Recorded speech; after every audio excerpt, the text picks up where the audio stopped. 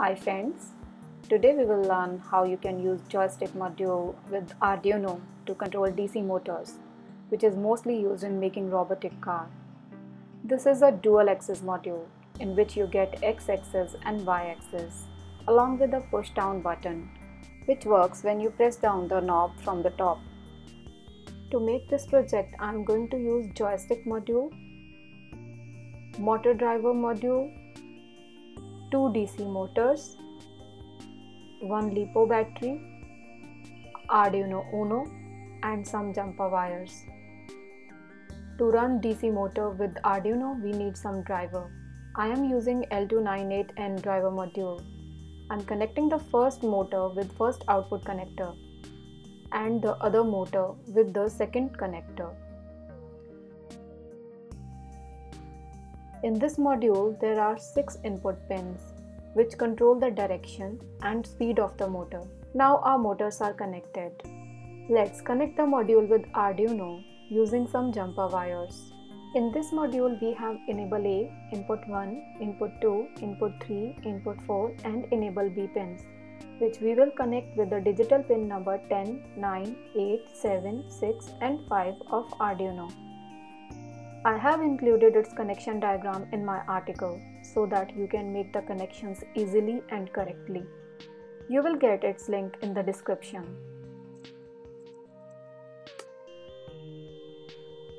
Now I am going to connect the joystick module with Arduino. Connect the ground and 5 volt pin of this module with ground and 5 volt pins of the Arduino.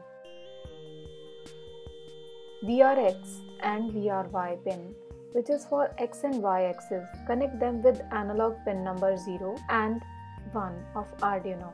And there is a switch pin which I am going to connect to the digital pin number 8.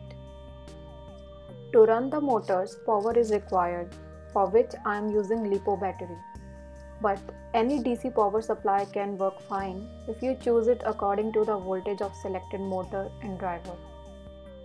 At last, I am going to connect power connector of the driver module of my 7.5 volt LiPo battery. Almost all the connections are done except one. Whenever you connect the driver module with any external power source, as we are using LiPo battery for power supply and Arduino with USB cable to get the power, then the most considerable thing is to connect the Arduino's ground pin with the ground pin of external source. Otherwise motors could not work properly. Now it's time to upload the program.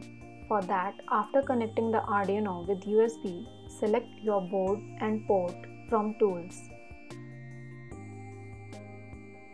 Then click Upload button. Now the program is uploaded.